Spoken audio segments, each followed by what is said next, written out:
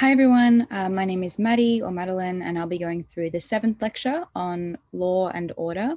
Just to give you a general overview of what we'll be going through, I'll first be talking about a little bit generally what law and order debates are and how they fit in the context of the other kinds of debates that we've been talking about. And then the second to fourth elements are kind of breaking down some of the key elements of debating within that specific context. So first, talking about the specifics of principles of regulation, then looking a little bit at the mechanisms which might be specific to law and order debates, and thirdly, kind of talking about some of the general harms or, and particularly macro level harms that you might see or, or should look for if you have unusual law and order topics that you're not sure how to approach. And then the final thing will just be kind of wrapping up and making a few additional comments. So, when we look generally at law and order debates, it's important to consider the role of law within debating generally, which is that the legal system of a state is the way in which governments seek to regulate behavior. And this is both through incentivizing certain patterns of behavior and more commonly, in particular within law and order debates, through deterring certain patterns of behavior. Uh, in a way, most policy debates, and by that I mean, of course, debates which contain the word should or which contain a call to action by which governments implement laws generally, which may be debates about regulation or debates about social movements or debates generally in which the government changes any law at all, are similar thematically to law and order debates insofar as the silent actor of a should debate is always the state or is almost always the state. Uh, however, the way we assess the debate is a little bit different and the kind of salience of those themes are a bit different. But in general, the way we assess laws is whether they are more good or more bad in their impact on a society. Law and, law and order debates are just a more explicit form of policy debates. Um, this, this means that you'll notice a lot of the similar themes and structures from previous lectures coming through, but they just might come through a bit more explicitly. So where the actor of the state is silent, in other debates, it's far more explicit here. The nature of the government and the arms of enforcement, for example, the, the arms of the state through the police or through the military or through the judiciary or through the legislature become much more explicit, which means there's more scope in law and order debates to characterize the state and in particular the way that state acts within the specific context of that country or within that sphere of the world if the debate is contained in that particular way. Um, secondly, the way that you regulate behavior is more direct. So a, a, normal form of regulation, you know, should debate might be, you know, um, a market mechanism or a kind of normative effect. Ordinarily, law and order debates are far more express. So things like criminalization is the most coercive form of me- form of mechanism that the government has available to them. It's the way in which they can deprive individuals of liberty or, in certain contexts, of life. And in that sense, the degree of harm that you're assessing in law and order debates is ordinarily a little bit higher, or at least principally, the coerciveness of that degree is higher um, because the ways in which governments are interfering with your lives tend to be more extreme. And thirdly, in law and order debates, there is normally a more normative element that you may not see in other types of policy debates. And that's because the legal system is as close as the state comes to codifying a set of morality. Obviously, there's a separation in some extent to the morals of a state and the laws of a state. But if there were a Venn diagram of morality and law, there would certainly be a stark overlap, particularly in the realm of criminalization. And that means that there's often room for principal arguments in law and order topics where they may only sometimes be room for principled arguments in other forms of topics. Obviously, there's already been a lecture on principles, so I won't be going over those same structures, but I will talk a little bit uh, later about some of the kinds of principles that you might talk to or the ways in which principles from a state are relevant. Uh, most law and order topics have the same key questions. And when I say this, of course, uh, you know, the similar thing with all debating structures is There will always be an exception to every rule, and the structure is a pro forma, not a rule. Uh, it's just a way to consider debates. So, if there are other arguments or other themes or other specific contexts, those are the ones which you should turn to.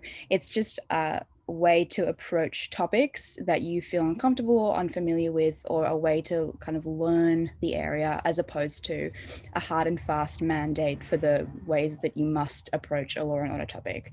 But a way that you can think about law and order topics is by firstly asking the question, is the behavior something which we should regulate? And this has two elements. The first being that is the behavior undesirable in some way or desirable, conversely. And secondly, that the question arises of whether it is regulatable by the state. So even if it is desirable or undesirable, is it something the governments should intervene in? And that's often where the principled question arises. Um, you can think of this in general form of debating as answering the question, is there a problem or is there a need for change, which can apply to most kinds of topics. The second question that you might have within a law and order topic is will the specific form of regulation change behavior? And this is essentially an assessment of the model or the policy uh, at addressing this problem or at addressing this need for change. And the third kind of question is how will the regulation affect people broadly? The reason I'm using the word regulation is because law and order topics canvass both criminal and civil jurisdictions. So they may not always be things such as criminalization, but they may be you know the promotion of certain civil regimes. I'll talk a little bit about that distinction later but that's all i mean when i say regulation. I don't mean to say that law and order is always specifically the word regulate. So the way that this presentation will continue is to break down those three questions. So turning first to the question of is the behavior something that should be regulated in this way and by this, the two sub questions that we were talking about earlier. But essentially, this is Is there a need for change? And is that change within the scope of the government's mandate? So the first part of this is is the behavior wrong or undesirable? Um, this is normally, and I make this statement a bit cautiously, not the salient part of law and order debates. Often the way that law and order debates will operate is that there is a clear harm or clear benefit in society based upon a form of behaviour. And the real clashes are about the government's role or about the mechanisms of enforcing that form of behaviour. But I thought it would be reticent to not include this as a sub question because there are sometimes topics which raise this issue. So if you distinguish between the two topics on the screen, uh, we can see from the second one that there is probably scope to argue that religious indoctrination is not harmful or that there is a characterization of religious indoctrination which is in fact good. Um, so keep that in mind when you have law and order debates.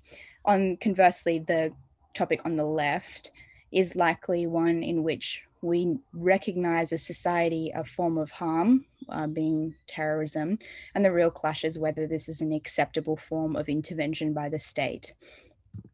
So, in general, when we characterize harm, uh, make sure that you look so the important thing to recognize here is that because the government is implementing a law, the harm must be entire. So it's not enough to say that something is sometimes harmful or in some ways harmful or but when exercised by certain people harmful unless you can attach your mechanism to that specific scope of influence when you're talking about law and order topics, the harm has to be one that is endemic to the behavior itself. We don't criminalize behavior that is sometimes bad, we criminalize behavior that is inherently bad. So, where there are questions that arise as to whether a behavior is harmful, make sure that you look to and utilize the inherent features of that behavior. Um, the second thing to identify here is then because of that, you have scope and fiat power, particularly on government teams, to clearly distinguish what is within and outside that criminal form of behavior. So, to look to the example of religious indoctrination, you may be very clear to distinguish between, you know, a faith-based household and a form of indoctrination which is coercive or involves force or violence. To make clear that the kinds of behavior that you are capturing are those which have harm attached to it, and the kinds of behavior which you are not capturing are those which are less likely or only sometimes harmful. Does that make sense? Um, and this is something you should also do in general in, in debating because you should be clear in delineating which parts of the debate you want to regulate and which you don't. But it's particularly important in law debates for the reason of the inherency of the behavior and the fact that every single person is affected by the law. So therefore, every single person must be affected by the harm or that that harm must be innate within this form of behavior that you're regulating. The other thing you can do other than expressly fiat out, and by that I mean kind of model out the forms of good behavior, so the forms of good religion or the forms of good religious upbringing, is to make explicit weighing. So even if you can, so you might say, from this we exclude faith based upbringings or families where they pray. Um, but even if the other team disagrees with that definition or that characterization, there are other reasons why those forms of religious indoctrination wouldn't be captured. And those reasons might be, and this would depend upon the debate, ones of capacity. So the legal system is resource finite, it is not infinite, and it is in the incentives of the government and also in the police force to capture the most clear violations of those laws for the reason of maximizing their resource usage. Um, and that's because those are the ones that are easiest to prove and also the ones that cause the most harm within society. There may be incentive reasons why the most minor form of wrong won't be captured, so that you are least likely to pursue a suit against your parents if there are small harms. And that's because the costs of litigation are so high and the reward that you would receive in the form of damages is likely to be low if there is not very much harm attached to the behavior.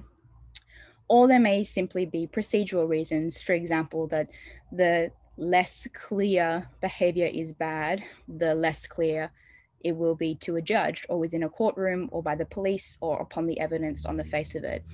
And the final thing you can say is that even if none of those reasons apply, it's important within, or it's often useful within law debates to consider the role of discretion. And that discretion operates entirely up the chain. So it, it, operates at the point of the individuals, it operates at the points of the enforcers, being the police or the prosecution department, it operates at the point of legal advice and legal representation, and it operates at the point of the judiciary and the judge and the jury um, a judge may give a particularly lenient sentence if something managed to get through the entire way that really wasn't very harmful. Um, for example, they can provide things like a suspended sentence, which means that you live your life essentially the same, except with a conviction recorded or with a temporary conviction that goes away if you comply with the relevant conditions. Um, so make sure that you can avoid those kind of outliers uh, when you set up the scope of the debate, because that's kind of the only place that this is particularly relevant, uh, especially in most debates. But you want to make sure that the issue of whether the behavior is harmful doesn't become an issue, which is one of the reasons these are useful strategies on the government teams to kind of make sure that the debate does turn on the questions of mechanisms or on the question of principles, as opposed to a question of definitional uncertainty.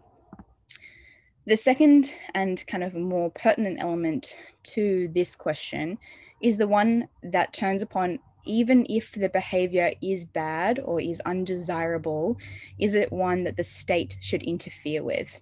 So these two topics uh, both have kind of principled clashes as to the role of the state. And the role of the state is something that is explored often expressly within law and order debates.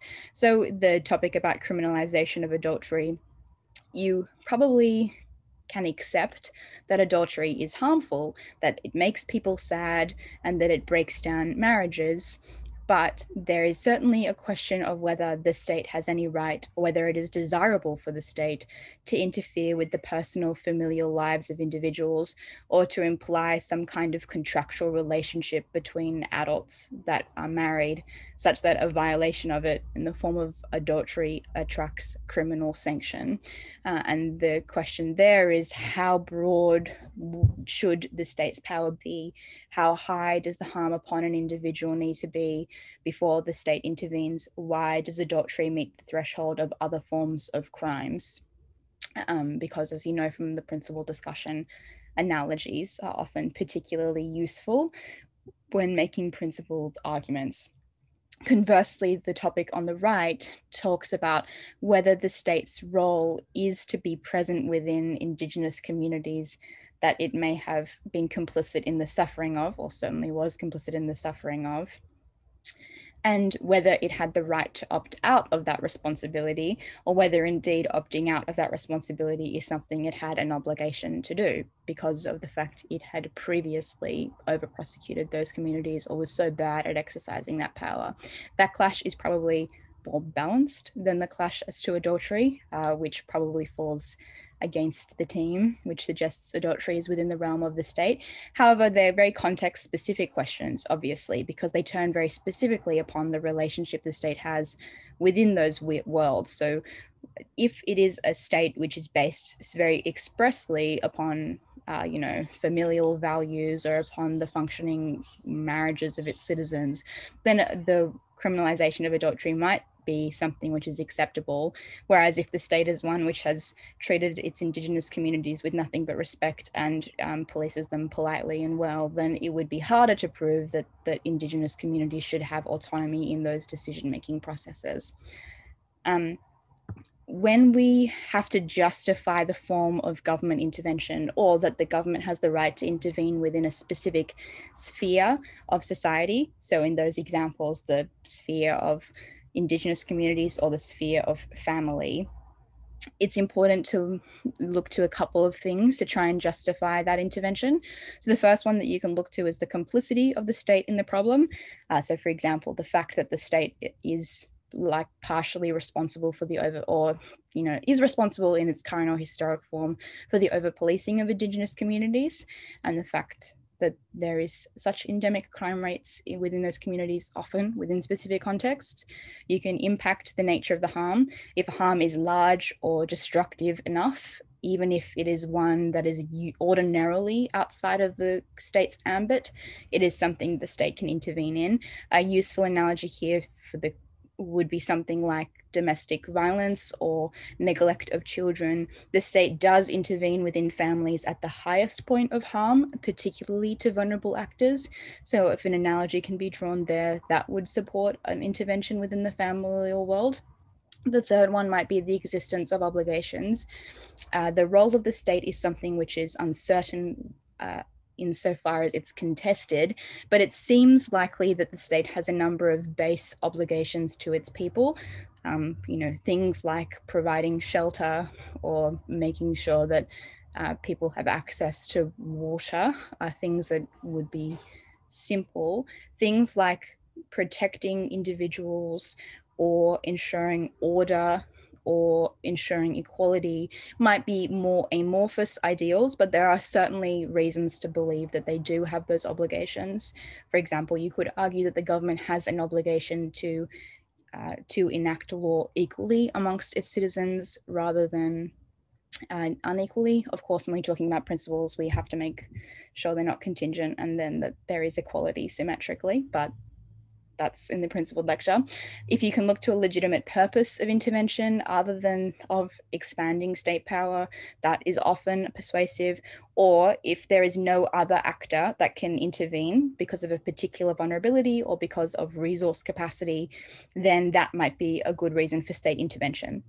So, some examples would be uh, in terms of capacity, the topic that this house would make crimes against the environment crimes of universal jurisdiction.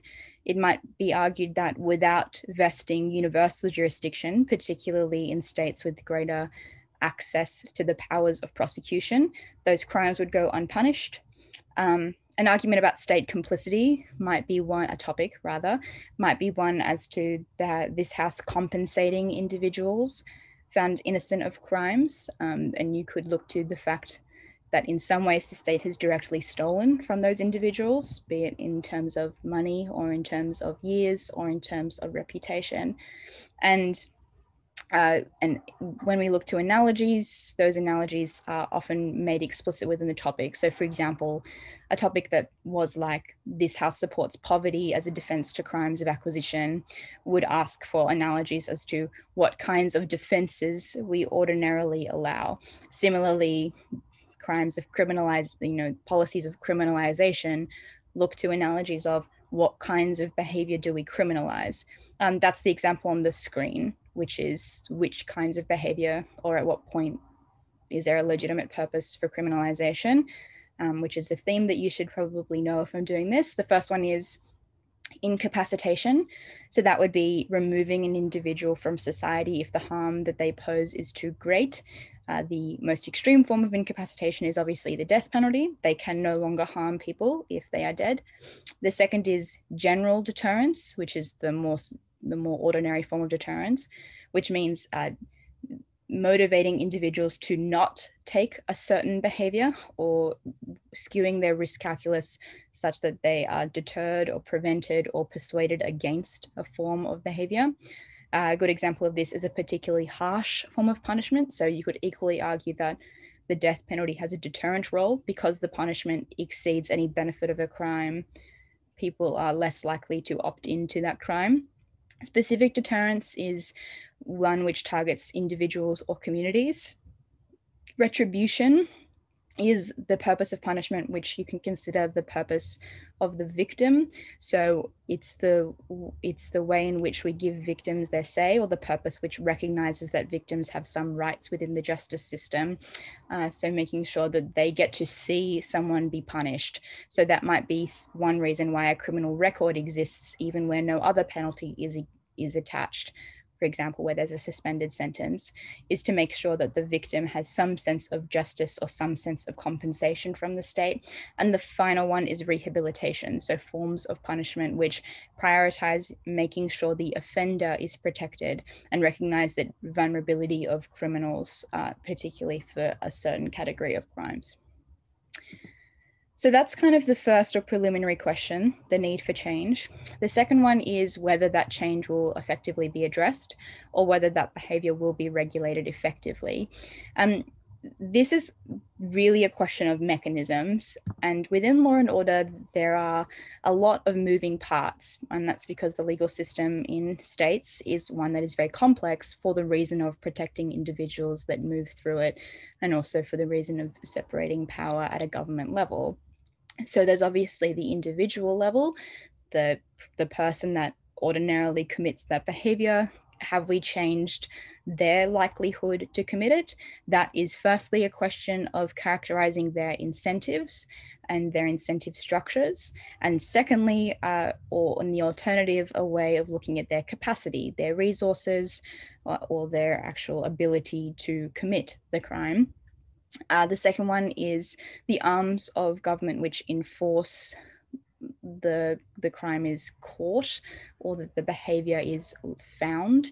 Uh, so the easiest example of this is the police and making sure that well and the question is whether they have increased powers that mean that they are better able to enforce those crimes noting that there is often a category of behavior which um, is not deterred but is not caught at the police level, either because of police discretion being poorly applied or because of the inability to do certain things, like the inability to enter houses or the inability uh, to override a victim's uh, re- refusal to participate within proceedings, etc.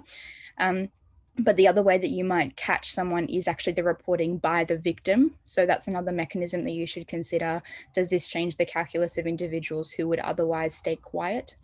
Uh, then at the point that there is some behavior, so using crime, I guess specifically, um, that there is some crime that has been alleged and bundled together to now progress into the legal system, being the juries and judges and courtrooms of a state, looking at those mechanisms, and those mechanisms turn a little bit upon the jurisdiction that you're in, but you might look at things like the legal representation that an individual has, the ways that those actors, juries, judges, courts, uh, have greater or fewer powers to intervene, and the amount and quality of evidence. And you might also look at the ways in which they can now sentence people differently, etc. And the final thing might be even if those formal mechanisms uh, don't provide much help in terms of mechanizing the policy, that there are often, and particularly in law debates, uh, non formal mechanisms of enforcing justice. And that's because the legal system is one that is largely normative and is enforced largely by consent um, or express coercion. And you might look to things like media scrutiny or the changing stigmatization or norms that are attached because of a certain policy. These are all just examples of places where you can tie the policy to the outcome that you want. Um, so if you're really stuck, normally one of these will work at least, but often multiple of them will. And it's worth considering structurally how at every stage of the process, a certain policy will affect an individual. So uh, for example, if there was a criminalization of a particular act, that's likely to firstly deter individuals so let's say criminalization of adultery, that is likely to be an additional deterrent upon the act of adultery because individuals are less likely to seek adultery if the risk of prison is attached and that changes their risk reward calculus. It increases the powers of the police or the powers of formal bodies of enforcement to the extent that they would previously have had no power of enforcement. It also increases the ability of victims to speak up and collectivize. Uh, it also increases the ability to prosecute or conversely to find uh, civil benefit where you're negotiating for divorce. You can seek better remedies there because you have this form of leveraging and bargaining power over your partner. And it significantly changes the norms attached to adultery, which means that there is a likely more coercive stigma around staying within relationships. And you can kind of step through those mechanisms more broadly. But when we're talking about mechanisms, it is very context specific. So a few kind of things to know about the legal system. The first one is to notice the distinction between civil and criminal systems. Now, different states have quite distinct modes of prosecution within these, but within your specific context, note that there's often a higher burden and standard of proof within the criminal system than the civil system.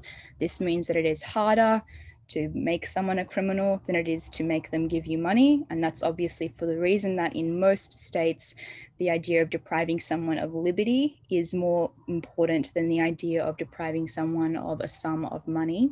The second thing is access to legal representation. Uh, often within criminal matters, victims are not represented. Instead, the state is represented and the defendant, and the victim acts or speaks through nominally the state, but otherwise has little decision making impact upon the forms of legal strategy. And conversely, the defendant is rarely, um, is more likely to have state provided legal representation in criminal proceedings than in civil ones, where most of the time people have to obtain their own private representation, although also note the existence of legal representation uh, charities and bodies which seek to represent the poorest individuals and there are often equivalents around the world. The police only really tend to matter within criminal jurisdictions, and the availability of remedies is quite distinct. So things like imprisonment or a criminal record or a conviction or community service are penalties that can only be attached to criminal jurisdictions, whereas damages and the payment of money or the enforcement of contractual promises tends to be the remedies that are available within civil jurisdictions. There are also different actors within those worlds, aside from police, for example, the role of juries. So a good example is this topic, which is essentially asking the debate to consider um, the distinction between civil and criminal jurisdictions for workplace discrimination and what would be ideal firstly for individuals and secondly for society. And there's a stopgap question in this topic which is uh, is that ideal actually reached? Because perhaps it would be ideal if workplace discrimination were criminalized but uh, exclusively, but can the government team prove that they will now all be criminalized, or will there instead be just a gap of individuals that no longer pursue justice in any form. And it looks to the questions of how these different systems affect individual incentives, but also corporate incentives, and then the question of societal impact and harm.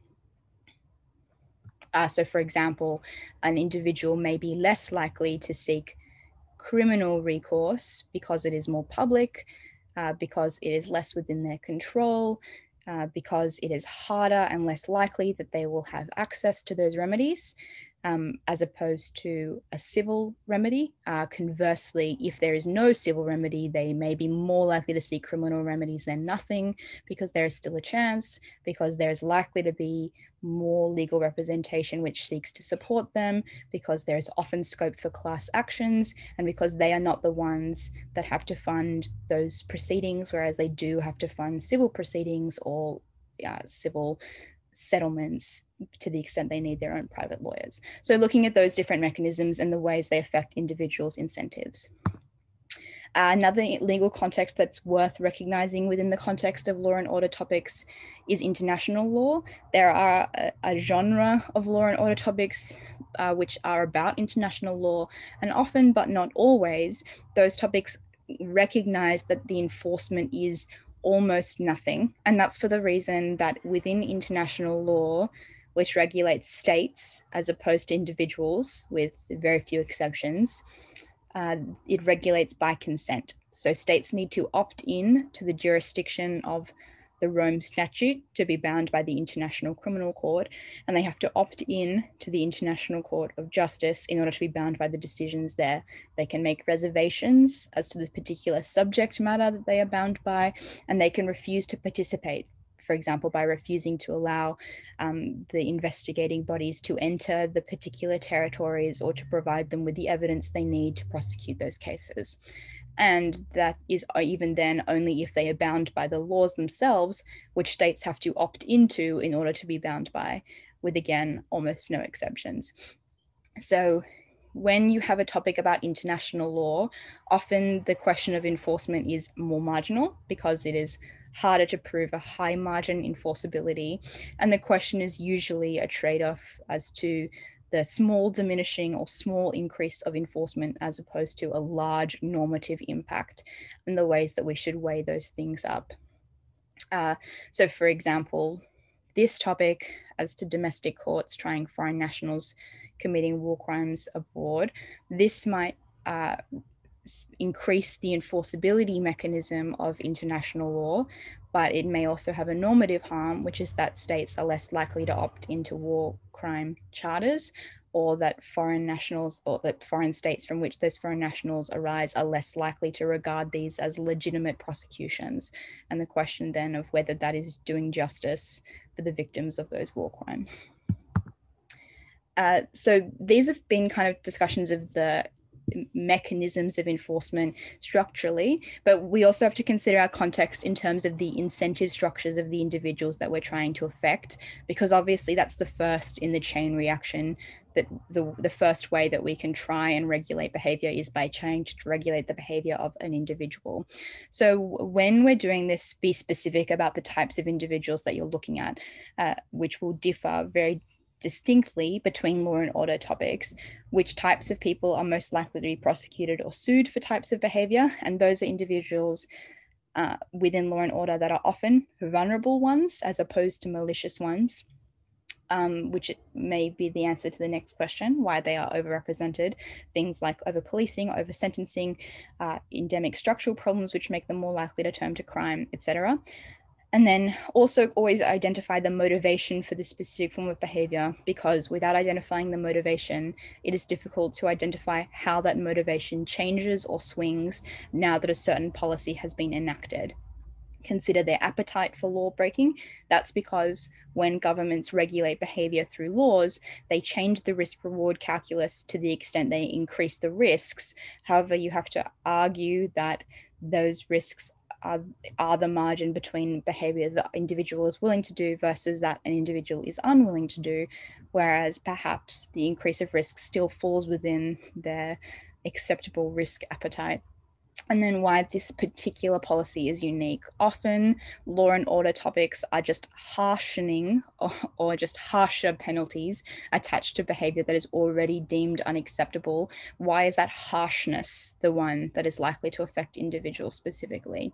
Um, just in terms of characterizing vulnerable actors, this topic, which obviously raises question, is is kind of a very simple example, um, which is that the you know like police have the right to intervene and drug test within high schools now. You might consider the types of individuals that are most likely, firstly, to be using drugs, but secondly, the types of individuals that the police are most likely to prosecute from successful drug tests, because those may not always be the same there may be a similar disproportion of individuals across demographics who uh, are drug tested positively, although that may not also be true. Um, but even if that were true, it is likely that poorer individuals or individuals with more structural barriers to access legal representation or to access connections are the ones that are most likely to be prosecuted.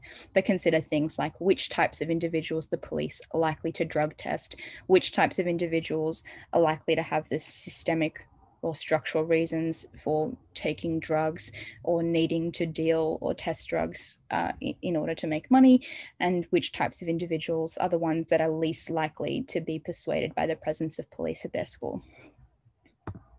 Okay, that's mechanisms. The third thing we have to look at is the kind of macro level harms and the consequences of legal change.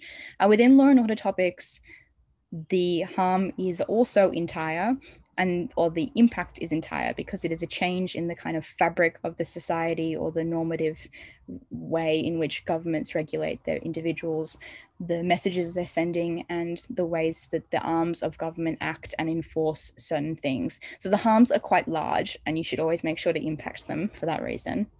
I'm just going to look through a couple of examples of quite common harms uh, and in, so that you can look at these when you're going through um, your topics or any law and order topics that you have, it's just important to recognize that even if the government team is able to establish that there is an, a problem within society and that that problem that problem will be addressed effectively if you can point to a kind of broader societal consequence that is more important than that problem you will still be able to win the debate. Equally if you're able to point to a way in which the achievement of that outcome also harms the most vulnerable individuals in a way that is unacceptable, you'll be able to win the debate. So, this is often a way in which uh, opposition teams are able to address the kind of questions of the debate. And it is essentially what are the harms of increased powers of enforcement? And that looks often at the kinds of powers of enforcement. So the, the nature of the state, the nature of the police, the nature of the mechanisms uh, of power that a state has entrenched, and whether it is desirable for the state to have more power over private individuals within the specific way. So uh, a common theme that you will have noticed in a lot of topics but that arises very explicitly within law and order topics is that of vulnerable actors uh, we know within law and order that the types of individuals that are most likely to be over policed are vulnerable, the types of individuals that are most likely to be unable to access legal representation or most likely to accept plea bargains or most likely to be over sentenced are vulnerable communities. We know that those consequences are endemic as opposed to isolated to the extent they affect communities broadly. And we know that those are also the types of communities that are least able to access justice in other forms, uh, either formally because of the lack of access to capital that allows them to challenge the judicial system, or informally because the lack of access to representation, which allows them to change norms around them. So it is often worthwhile considering the ways in which a law will interact with those structures, which by which the law tends to uh, entrench the oppression of certain communities. So a, a, good example of this, I think, is actually the third one, uh, which, and this is and this question of oppressed communities is particularly good or important if the the government teams are purporting to assist with vulnerability. Obviously, that's generally true outside of law and order topics as well. But for example, in the topic as to supporting poverty as a defense to crimes of acquisition, which I mentioned earlier, you may consider the ways in which individuals who steal are most, which communities they are most likely to steal from, uh, and that how that may actually make particularly poor communities even less safe or even less stable within the structure of their society. Uh, so, for example, you can argue that whilst it would be the most profitable thing to steal from a high socioeconomic person, most crimes of acquisition are, are petty crimes within poor communities that are not able to protect themselves. And the fact that you deny those individuals a right of recourse is particularly harmful because it incentivizes theft within those communities more than any other. Another common uh, harm that you see within law and order topics is the characterization of the state as evil. And obviously, it doesn't necessarily have to be evil, but certainly as oppressive or as one which has bad or malicious intent in some way. So, for example, in the first topic, um, if you argue that certain states now have the incentive to characterize groups of rebellious individuals or legitimate protests or legitimate freedom fighters as terrorists in order to openly torture them and deter future terrorism within their state, you're likely to be able to impact a pretty substantial harm as to dissent within undemocratic or states or within autocratic states. Um, Equally, you might want to consider what the state's incentives are for passing this particular law and in which context they are likely to exercise this power. Um, the converse of that may be that evil states will now be more transparent in their evilness. Um, you argue that they are torturing individuals on either side, but at least now there is some marginal benefit of regulating that torture in a way that is beneficial and minimizes harm within a sphere of influence that is already harmed. Um, but consider when you're doing this, characterizing the particular state characterizing the particular context and looking to their incentive structures as well, um, maintaining order at what cost. Uh, a similar, but not the same argument is individuals or actors that do not want harsher penalties to attach to them. And this is often a question of powerful actors that seek to avoid enforcement. So, for example, consider the way that corporations would act if out of court settlements for workplace discrimination were banned would they uh, prefer to go to court or prefer to suppress the victim reporting individuals to criminal regimes? How would they suppress those individuals? Um, consider the ways that companies that want to pollute will react to crimes against the uh, environment having universal jurisdiction, or the way that states that benefit from those crimes would want to react. And this is essentially looking at the ways that structures of power can override the legal system. When we're talking about um, harms of unenforceability, make sure that those are not, that the harm is not the unenforceability, that the harm is something more than the unenforceability. So, for example, that the harm is the suppression of victims' voices, that the harm is that you privately shame and make victims feel even guiltier about reporting, etc. Um, and the final one we'll look at is normative consequences, uh, a theme that you would have identified in this lecture is that the legal system is often the way in which norms are communicated from the government to society. So consider so whilst normative arguments may not always be the most persuasive, they are more likely to be persuasive within a law and order topic. Uh, so consider the way in which governments message their populaces when they implement certain laws? Do they produce stigmas? Do they normalize certain behavior? Do they uh, recognize certain wrongs and compensate individuals in that sense? Do they instead act to coerce individuals into feelings of shame and, and consider uh, the legitimacy that is attached to those decision making. For example, if you lower the burden of proof, on the one hand, that's the state recognizing a particular form of wrong, which may increase societal recognition. Uh, that that behavior is particularly pernicious, but conversely, it may be one which treats those prosecutions as illegitimate and therefore makes people uh, think less severely of individuals with, with who are convicted of those crimes. So make sure there's a balancing act there as well. Uh, the final thing I'll just kind of wrap up with a couple of comments. Uh, the first one is to just kind of draw out the salient themes that I've talked about in this lecture.